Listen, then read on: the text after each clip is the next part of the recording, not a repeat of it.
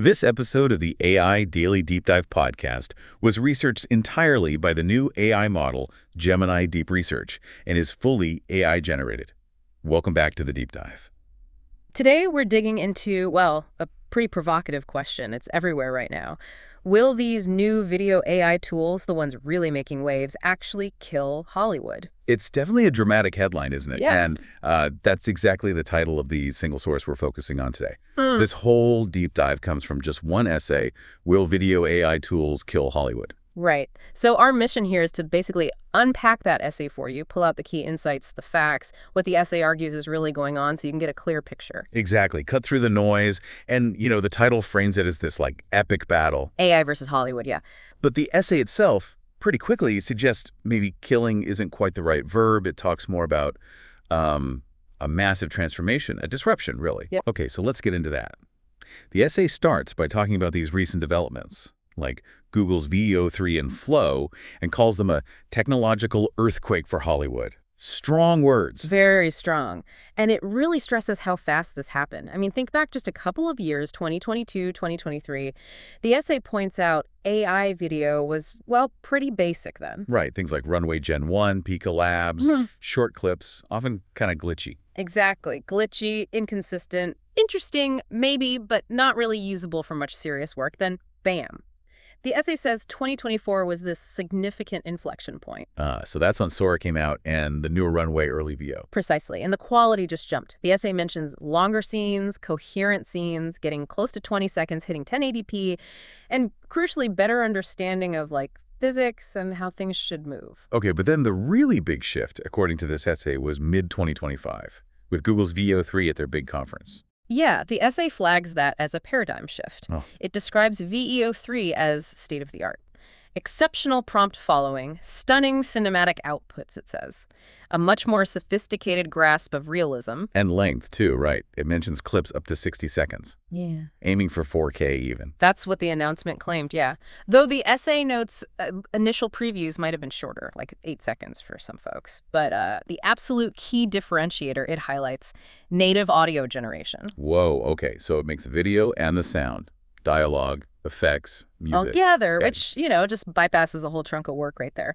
The essay also talks about multimodal prompting text, images, sketches as input. And keeping characters consistent, that's always been a hurdle. A big one. So consistent characters, consistent scenes, and it's not just the VEO3 model on its own. The essay discusses the Flow platform. Right, the AI filmmaking tool built by and for creatives. Exactly. Integrating VEO3, Imagen for images, Gemini for language stuff. It apparently has tools like a scene builder, camera controls, asset management, even something called Flow TV. And it's not free, is it? The essay mentions a subscription, like Google AI Ultra, around $249 a month. Yeah, suggesting it's definitely aimed at professionals, serious creators. So the essay's point is, the shockwave isn't just about what VEO3 can do now. No, it's the speed, the pace of improvement we just saw. It makes even more powerful tools seem, as the essay puts it, imminent. That 60-second 4K video with audio, it sees that as a near-term inevitability. Okay, so pulling that together, native audio makes AI video instantly more useful. And platforms like Flow lower the barrier to entry. Right, potentially opening things up for new storytellers outside the traditional system. That alone is a huge potential shift. So the essay looks ahead too, right? Yeah. The next three years or so, 2025 to 2028, what does it predict? Yeah, it projects even faster acceleration. We're talking uh, consistent photorealism becoming the standard. 4K is normal, 8K starts appearing. And longer coherence, beyond 60 seconds. Eventually minutes, yeah. Yeah. Keeping characters, environments consistent across multiple shots.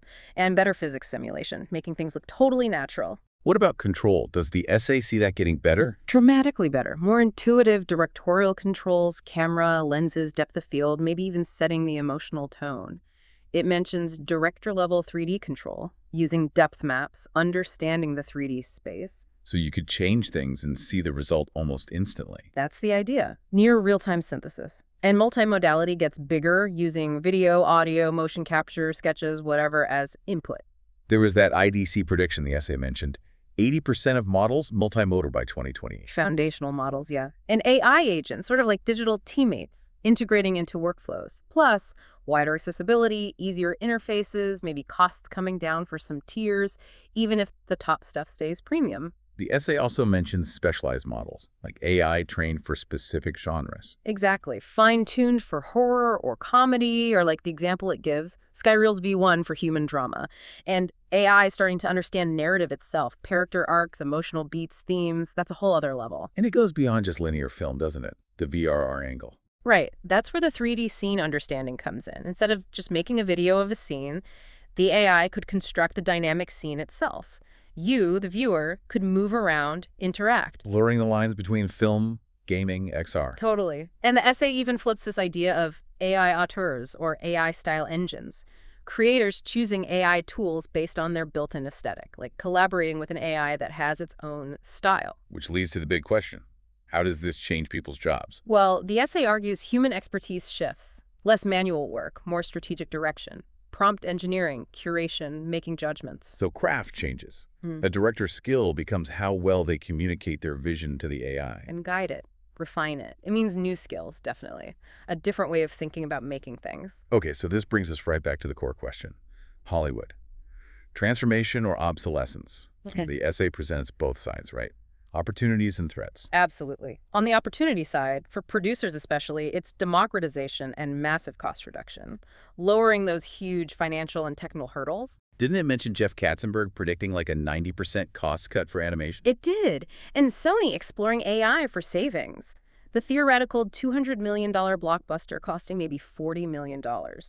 And a projection of the AI film market hitting $14 billion by 2033 huge numbers. And it streamlines everything, pre-production, production, post. Across the board, according to the essay. Script analysis, storyboards, animatics in pre-pro, AI-assisted cinematography, virtual sets during production, but post-production sees huge benefits. Automating VFX tasks like rotoscoping, editing, color, sound, even ADR. All of it. The essay talks about potentially saving weeks, even months, from schedules, plus creative boosts, rapid prototyping, exploring styles, generating B-roll fast, new revenue streams too, like easy localization with AI dubbing, personalized content. Okay, but then the threats. The essay doesn't downplay those.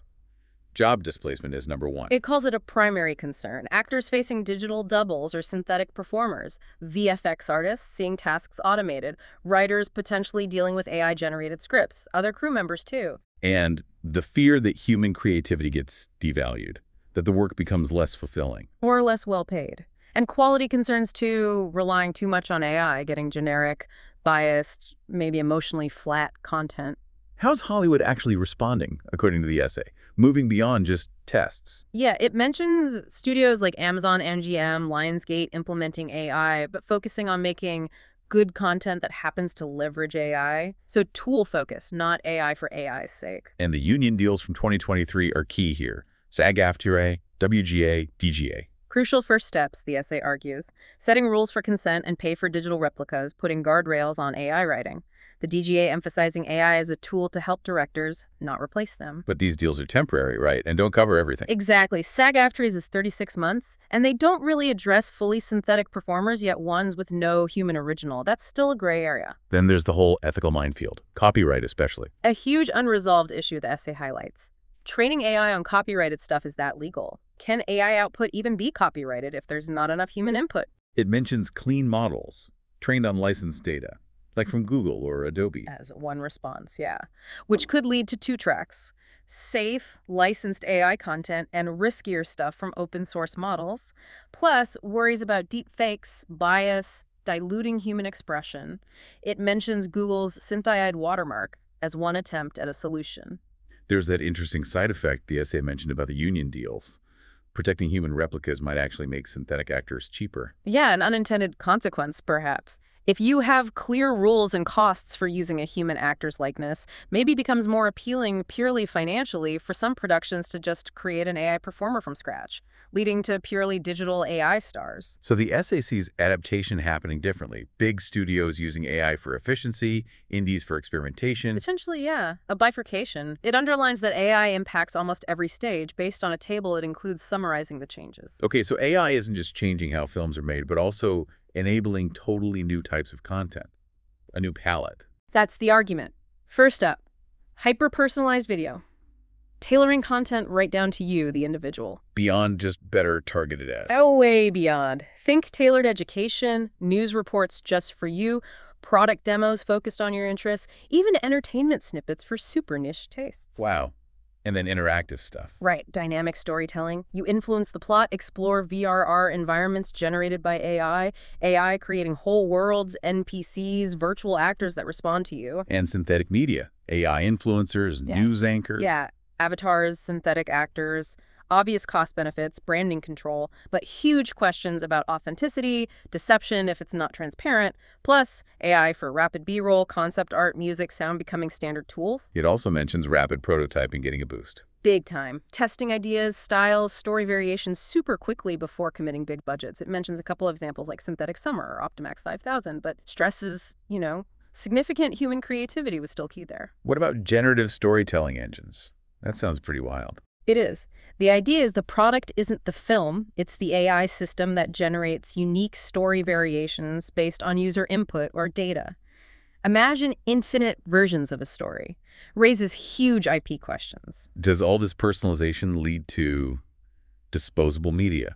The essay called it ephemeral media. That's the concern raised. If it's so tailored, does it lose cultural weight? Do we lose those shared movie moments everyone talks about? And AI avatars make us question what's real online. Yeah, definitely. Trust becomes harder. The essay argues we need better digital literacy, better verification than just watermarks. Okay, so how does this change things for us, the audience, you, the listener? Well, hyper-personalization, you already see it with Netflix TikTok recommendations, right? The essay suggests this goes further, platforms generating or tweaking videos in real time just for your mood or interest. Sounds engaging, Mhm. but also potentially isolating. Those filter bubbles or generative bubbles the essay mentioned. Exactly. Less shared experience, more fragmentation. But audiences are getting savvy, the essay notes. Surveys show people are a bit wary of fully AI-made films or music. There's a preference for human authenticity. So people want transparency, to know if AI was used. Overwhelmingly, according to the essay, like 61% think companies should disclose it. And there could be backlash 36% less likely to buy from brands using AI in ads without saying so. Trust is key. Which leads to that authenticity paradox idea. As AI gets perfect, human flaws become valuable. Potentially, yeah. Certified human made might become a selling point, a premium feature almost. And maybe we just get overwhelmed. Content fatigue. That's a real possibility the essay raises. A flood of easy to make, maybe mediocre AI content. Audiences might get more selective, seek out quality, or value things AI can't easily replicate, like live events. So we need more than just watermarks. Yeah. Better labeling. Granular info, maybe blockchain for provenance. Building trust in this new landscape is crucial, the essay suggests. Okay, so wrapping it all up. What's the future content landscape look like, according to this essay? Mass appeal or infinite niches? It explores both. Fragmentation seems likely with all the personalization micro-niches.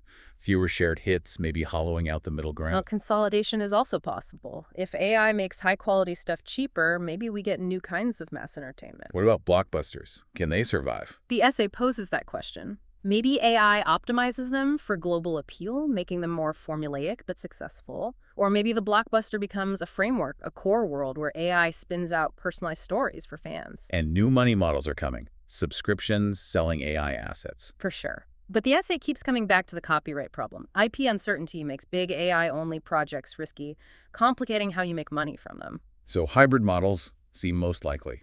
Human core, AI assistance. That's where the essay seems to land. Mass stories with personal touches, AI helping serve niche audiences better. It suggests sustainability depends on sorting out the legal stuff and figuring out how much consumers value AI-touched content. Hybrid approaches seem the safest bet for now. So back to the big question, does AI kill Hollywood? The essay's answer seems to be, no, not really kill. Not extinguish it, no, but compel a massive fundamental transformation. That's the key takeaway. AI isn't the destroyer, but an augmenter, an automator, an enabler of new things. Right. And the essay concludes the most likely future is this deeply symbiotic relationship. Humans provide the vision, the emotion, the judgment. And AI provides the speed, the efficiency, the tools for broader expression. The art is in the collaboration. Exactly. Which leads to the essay's final thought for you, the listener, to mull over. It says the real question isn't humans versus AI, it's how will humans choose to create, to collaborate, to tell stories with AI. And why that matters to you. Because those choices shape everything, the stories you see, the jobs people have, maybe even our shared culture itself. Something to think about.